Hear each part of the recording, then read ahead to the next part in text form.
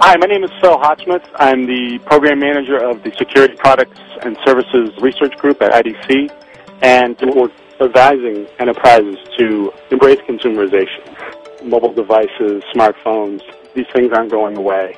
They're coming into the enterprise, so figuring out a way to safely deploy, safely manage those uh, is, is going to be uh, is going to be important down the line. Move away from perimeter-based security to the cloud. So thinking about how to extend traditional on-premise security solutions to mobile users or remote offices, and think about a cloud service either as a way to supplement or place a, a traditional